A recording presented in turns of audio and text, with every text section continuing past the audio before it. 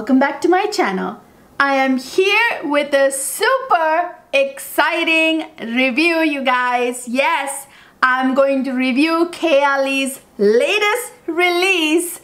It is Kayali Invite Only Amber 23, you guys. Oh, I'm so excited to review this fragrance. I saw it on Instagram and I saw some things about the fragrance online and I just couldn't wait to get my hands on it. Yes, so I ordered it right away. It showed up at my doorstep today and I wanted to turn my lights on and review it right away. So I'm going to review this latest fragrance release from Kayali. If you want to know what my thoughts are and hear all about this fragrance, just keep watching. So you guys, as you saw, this is the typical Kayali packaging. I got the 100 ml, the largest size. And as you know, they put the main notes on the back of the packaging as always. And this is the fragrance inside and yes it's in that very exciting foil finish packaging just like the sweet diamond pink pepper and utopia vanilla. It's the same bottle and this is a little bit you can see through it a little bit just like the utopia vanilla and the Sweet Diamond Pink Pepper. This is the same jet metal foil packaging with that mirrored finish. And it says right here, Kayali Invite only 23. So now for what you've been waiting for. But before I spray this on, I wanted to tell you guys, this arrived about like four hours, five hours ago. And I sprayed it on over here on my pulse point. And now I'm gonna spray it here for you guys. And I can talk to you about the dry down and everything over here. Mmm. let me spray this on. Has that amazing atomizer that I just really love. All Kayali fragrances have this amazing atomizer that kind of kind of mist the fragrance. It's so amazing. Look at that. You know Oh, you guys. Mmm. Ooh, this one is quite a dark ambery juice. Very dark ambery juice and I'll tell you more about it. It's so much more than that. When I first sprayed this on, you guys, it immediately reminded me of two fragrances that I have in my collection my mind went right there immediately. I'm like, what does it remind me of?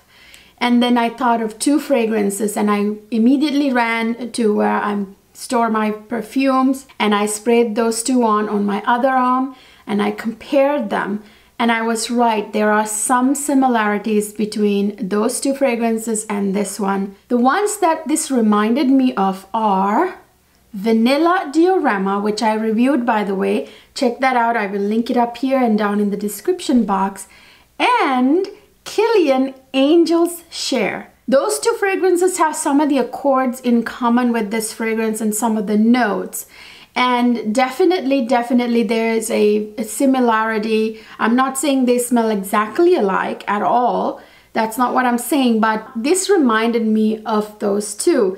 I think Angel's Share smells a little closer to this than Vanilla Diorama, but both of them kind of have similarities with this fragrance. If you want a point of reference, it's that kind of juice, you know, like very fall appropriate ambery vanilla kind of juice that this is. I've been talking for too long, so I'm gonna spray it again. Oh, Oh, in the opening, you guys, I get that spicy notes so well. There is Ceylon cinnamon in this fragrance in the top notes and I picked it up right away. You know, Ceylon, like my channel, Ceylon Cleo, well, Ceylon means Sri Lanka. Ceylon is a colonial time name for Sri Lanka, you guys. So Ceylon cinnamon comes from Sri Lanka. Sri Lanka has the best most sought after cinnamon in the world you guys. You know the stuff you buy from like target and places here in this country like that really thick bark cinnamon that they call it cinnamon? That's really actually not cinnamon real cinnamon is very thin it's rolled like a cigar just like the bark stuff you buy and cinnamon is bark too but it's very thin and high quality it almost tastes sweet so Ceylon cinnamon is a highly sought after ingredient for perfumes and highly sought after for food because it's the most delicious cinnamon ever. So this has Ceylon cinnamon and you can smell the cinnamon. Just like in Kilian Angel's share, you guys. It's very similar to that in the opening with the cinnamon, the beautiful cinnamon. You can smell it right away.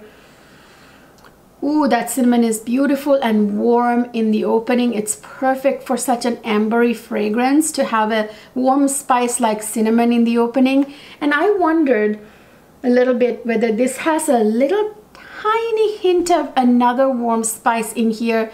It could be cardamom, but cardamom though, you guys, when you put cardamom in a fragrance, you can like immediately smell it because it's very distinct. So I don't know I, I actually don't think so now that I smell it more. So maybe not cardamom, but something like cinnamon, you know, something else warm, spicy like cinnamon is in here. I feel like because that spicy hint in the opening, so the spicy sweet hint from this, so from a sweet sort of spice like cinnamon. It's very beautiful in the opening. It, it also has in the opening black cherry, you guys. You know how sexy cherry can be. Black cherry oh very sexy and in the opening you have that black cherry with the cinnamon it also has Miel de Provence in the opening it's basically honey from Provence it's like this very syrupy thick honey from Provence in France Whew, it's really good. That honey complements that cinnamon note so well in the opening and the black cherry. Also has in the opening something very weird. You usually you see this in the base of fragrances. There's pipe tobacco and tobacco leaf in the opening. So maybe that's what I was getting you know with that cinnamon. I felt like there were more spicy notes but it could just be the mix between the cinnamon with the tobacco leaf and the pipe tobacco the tobacco is not overwhelming in the opening. It's very, I would say it's nice and subtle. It's well blended. So it's not like in your face kind of tobacco at all. Usually I'm not used to seeing tobacco in the top notes. Usually it's in the base notes. And I'm usually not a huge fan of tobacco in fragrances because it's a little too strong usually, but not in this fragrance. Actually, I'm, I'm pleasantly surprised. And also you guys making it even darker and sweeter. There is hazelnut chocolate in the top notes as well. How yummy is that? And then there's also bergamot in the opening as well. So in the middle you get rose centifolia rose damascena which are both expensive high quality rose oils you guys um, highly sought after and then you get in the middle not in the base Tonka bean, you guys. Oh, tonka bean. You know what tonka bean is? I say this every time. Tonka bean smells like a deeper vanilla. It smells like vanilla, but only like with more depth and more darkness, so to speak. And there's actually Madagascar vanilla in the base. I'll get to it here in a second. So there's tonka bean in the middle, which means a bigger dose of tonka bean than you would get if you put it in the base. So I really could smell the tonka bean when I smelled this fragrance right away when I first sprayed it. I could smell the cinnamon, I could smell the tonka bean very, very, very well, and I could smell the chocolate. Those three were notes that I smelled immediately and I knew there was vanilla too. There was a huge dose of vanilla. Of course, when you combine tonka bean with vanilla, you're gonna get a very intense, you know, dose of vanilla, a quart of vanilla.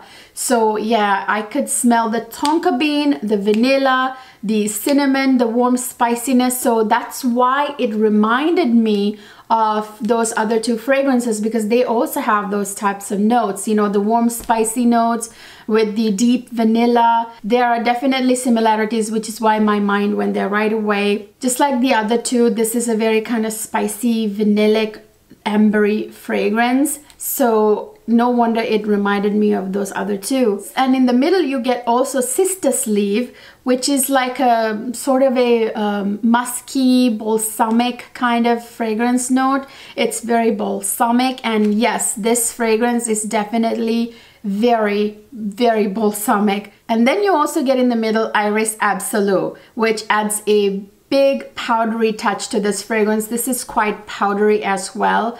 And with that chocolate, hazelnut chocolate with the powdery, it's very nice. That scent you get like when you mix like the cacao with the, you know, like a powdery note. Cacao tends to be a little powdery smelling as well. But in this case, it's hazelnut chocolate. And then you add the Iris Absolute. It gives it that same vibe, you know, like in the vanilla diorama you get the cacao powder and the vanilla. So yeah similar. So you guys you get a big humongous dose of uh, Madagascar vanilla in the base which makes this very vanilla like and combined with that tonka bean in the middle oh it's got a very deep strong vanilla accord. And also this fragrance is different you guys. This is Kayali's first fragrance with oud in it. So this has pure oud in the base. By the way, oud is what separates this fragrance, if you ask me, a, a lot from the other two that I mentioned, which don't have oud. You know, Vanilla Diorama and the Angel's Share by Kilian, they don't have oud but this one has oud which takes this in a different direction you know this one is like that but different because there's oud in this and that oud in here is quite recognizable you can smell the oud that was another note that I smelled right away. I forgot to mention it earlier. After like the few, like whatever, like 30 seconds or so, I could smell the oud right away. I could smell the cinnamon. I forgot to mention that before that I smelled oud as well. I could smell cinnamon very, very well. I smelled the chocolate for sure. I can smell the um, the powderiness that I knew there was some kind of powdery note in here and I smelled oud very much. Definitely and the vanilla of course the tonka bean. I could tell there was tonka bean in this fragrance as well. I knew there was a deep vanilla you know scent in here that I immediately recognized there's got to be tonka bean in here there's got to be vanilla there's got to be oud there's got to be like a, a, cacao or some kind of chocolate in it. There's got to be like some kind of like powdery iris type of note in here. I knew that right away and then I could smell the cinnamon really really well. I knew there were one or two warm spicy notes in here. So those were very much right away what went through my head. And I immediately thought of Kilian Angel's Share and Vanilla Diorama which have similar notes to this. Oud is like the only thing that's very recognizable in here that those other two don't have I mean yeah they have different notes as well many other different notes. What I'm trying to say is out of the very recognizable accords oud is one accord the other two don't have that this does. It makes this one if you ask me very kind of um, exotic you know like very you know oud is that beautiful exotic woody note that's just you know highly sought after. It's like liquid gold they call it in the perfume industry.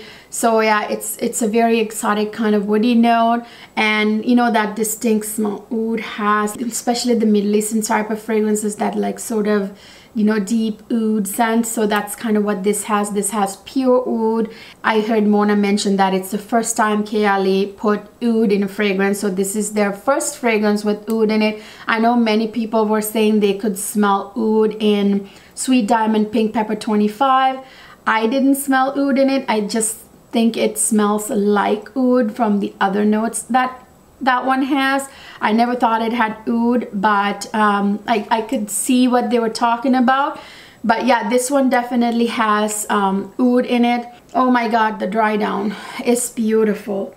It's beautiful. So I didn't finish the base notes. So there's sandalwood for absolute in the base. So, you know, it's a beautiful sensual sandalwood. I mean, I couldn't think of a another better woody note to marry with oud really um, perfect sandalwood has that sensual touch. This fragrance is a very sensual fragrance. In the base it also has cypriol oil you guys. That's kind of like a I believe like a synthetic oud or something. It's like a uh, I think it's also called Nargamotha oil if I'm not you know, if I'm not mistaken, but it has like this very, it, it smells, it's not exactly like oud, you know, it has that sort of like scent. I think it's like a synthetic type of oud.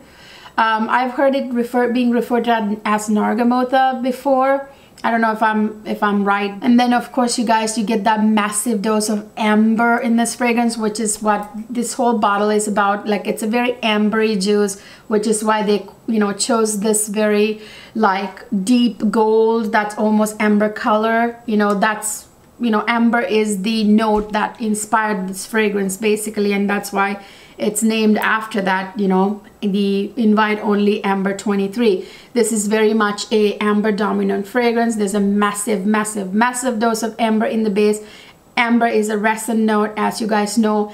It has this sort of a slight hint of kind of gourmand almost vibes. It's like a resin that has like a little slight hint of gourmand if that makes sense to you guys. It's hard to describe. I've smelled amber before. It, it's difficult to describe exactly. And then you guys also to complement that amber benzoin. Benzoin is also you know like a resin. Benzoin is very much it smells like vanilla. So when you put tonka bean, benzoin, and vanilla in a fragrance, it's unmistakably vanilla. You know, it's a very deep, like sort of a strong vanilla that's in here with, you know, um, tonka bean and benzoin fortifying that Madagascar vanilla that's in this fragrance. So you get benzoin in the base with that massive dose of vanilla. So yeah, there's a massive dose of Madagascar vanilla in the base as well with the with the benzoin. And then there's Ambrox and Luminous Musk in the base of this fragrance. Musk is a must. Musk is a must, you know, in fragrances if you ask me because musk adds this very like sexy sort of edginess to fragrance. It's again hard to describe. I feel like without musk, you know, fragrances struggle to be as sexy in a way, you know, like to me, musk is a must. You know? I know some people don't like musk i think if they you know understood it like smelt it you know in different compositions they would actually like musk maybe what they don't like is the composition and maybe other notes. Musk is actually really beautiful. Um, so yeah you guys I mean the composition is impeccable. I feel like I mean they're not gonna reveal all the fragrance notes you guys. I feel like now here's the part that I may or may not be wrong on I also smell something slightly boozy kind of like Kilian's Angel's Share, you know how it has brandy, you know, with that same type of notes, like it has cinnamon with the, with the, you know, vanilla and tonka bean and all that. I feel like it, this smells a little bit like Angel's Share in some way without, of course, this has oud, that one doesn't have oud, which is the, like the biggest deviation, the difference. Like this really goes in a different direction with that beautiful sort of pure oud. But what I'm trying to say is that I detect something slightly boozy. You know, as you know, fragrance noses, you know, the perfumers, they don't reveal all of their cards. You know, they you know, perfumers don't reveal all the notes like no good chef likes to give out their recipes, reveal their recipes just like that perfumers don't always reveal all the fragrance notes you guys. So I feel like this has a slight boozy touch that I'm just detecting in here. Or it could be the oud mixed with the warm spices and the tonka bean and the chocolate that's making me think that way. Or it could be the fact that this shares notes with some of the other like like Angel's Share and Vanilla Diorama that do have boozy notes in it. You know what I mean? Maybe that's why my mind's going there but anyway I thought I smelled more warm spicy notes other than cinnamon and I feel like I smell like a slightly a boozy note in here. I may be wrong. I mean, they haven't revealed it. I wouldn't know. So you guys, this is definitely a warm, spicy, ambery, vanilla, chocolate, oud, slightly citrusy, powdery, balsamic, um, woody kind of fragrance um, and you know those are like the main accords in this fragrance. It's a little musky as well. So yeah it's a very a much a sensual deep ambery fragrance that's perfect perfect for the autumn, for fall season coming up. This would be like, you may as well write fall on this fragrance perfect for fall on this fragrance because I couldn't think of a better match for fall honestly. This is definitely a fall winter fragrance but to me this is very much a fall fragrance you know like this will definitely not work well in spring or summer. Absolutely not. This is a fall autumn kind of fragrance. Yes winter too but I would probably predominantly wear this in the fall because it's so perfect for fall. So Mona was saying that this is a very sexy, sort of fierce, sensual kind of fragrance and she was saying how she had to kind of take on her alter ego Monica for her to channel her inner sensuality to you know do the photo shoots for this fragrance and everything that makes her feel some kind of way you know that sort of way like sexy sensual kind of fragrance. And by the way, this fragrance is very much a unisex fragrance.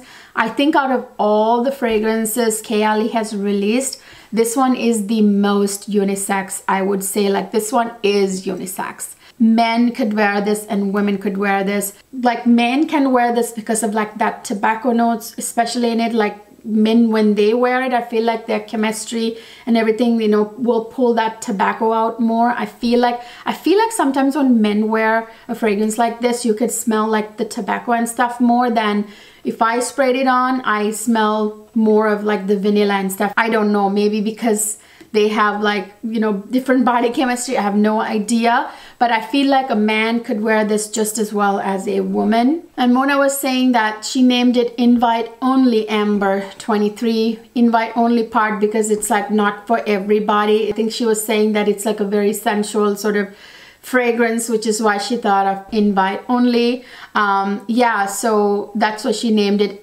invite only amber 23 obviously 23 as she always does you know, like vanilla 28, that means that's how many iterations she went through until they finalized the fragrance. So in the same token, this one is 23. That means they went through 23 versions, you know, like iterations before they finalized it. So that's what that means. So this comes in 10 ml, 50 ml, and 100 ml bottles. This is a 100 ml bottle. Obviously, uh, 10 ml is, I think, $27. 50 ml is a $100. And this one, the 100 ml is $138, I believe. It comes in all three different sizes, so you can test out with the mini version if you want to so yeah I'm, I'm glad that there are options with this one. Like the Utopia vanilla only came in like that one size 50 mil and that was a little frustrating. So yeah I like the fact that this came in three different sizes. I bought the biggest bottle you guys because I knew the moment I saw amber I knew I was gonna like this fragrance.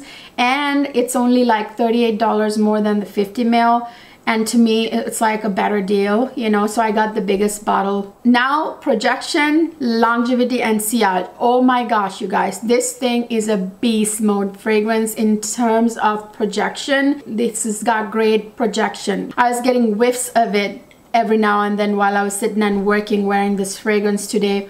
Oh my gosh it's definitely it's got good projection. Like this one it has got better projection than I think any of the other Kayali fragrances. I have all of them actually. Did I tell you that? I own each and every one of them. This one has the best projection. And sillage, yes, my, my family could smell me as I walked by. Definitely good sillage. I would say good longevity too, even though I've only been wearing it like, what, five hours now? Like I sprayed it on here before earlier.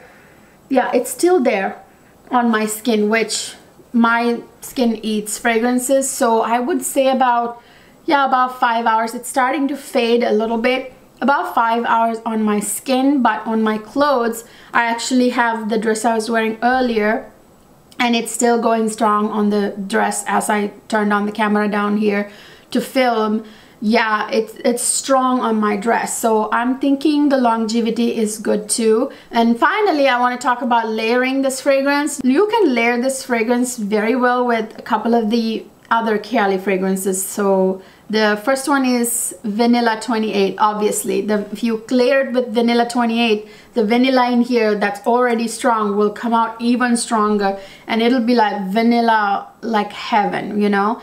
And you can also layer this one with the sweet diamond pink pepper. That would be a good one to layer this with. Um, Utopia Vanilla Cocoa. But in terms of layering this with other fragrances, I would be curious to see what this smells like layered with the Kilian Angel's Share and Dior Vanilla Diorama. You know what I mean? Like, because they have similarities, you know what I'm saying? I wonder what kind of scent it would create if it would like just, you know, fortify like each other because they all have similar notes and just be like crazy beast mode or something i don't know i'll have to test that out um, i will update you in a future video on that layering experiment so yeah you guys i would say this is a great fragrance. I would definitely say that this is very unisex. Um, it's not like a girly fragrance or a very lady type fragrance or a very kind of like feminine type of fragrance. It's definitely not. If you like super feminine fragrances you're not probably gonna like this. This is very much a more of a you know dark sexy ambery kind of fragrance that even men can pull off.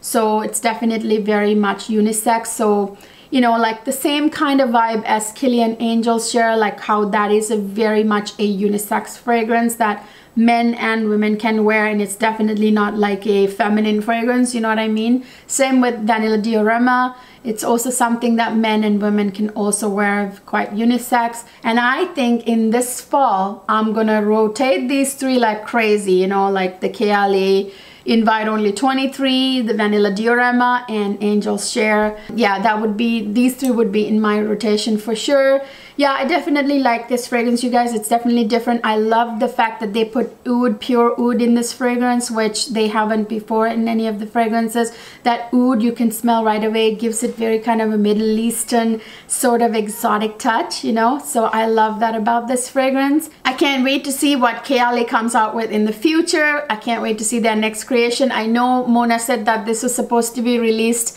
back in august 2020 but because of covid it got held back but she was happy that she's releasing it now. It's like a perfect time. So 2021 August for the fall season this year. So yeah th those are my thoughts on this new beauty from Kayali this is Kayali invite only amber 23 so you guys that's it. That's a wrap I hope this review was super helpful to you guys. I tried to be very thorough and gave you everything, all the information I know and have. It's very much a uh, perfect fall fragrance. I hope you enjoyed this review and found it very helpful. If you liked this video, please don't forget to give it a thumbs up. Give it a big thumbs up and don't forget to subscribe to my channel. Click that notification bell so you can be notified when I upload. I will see you guys in my next video.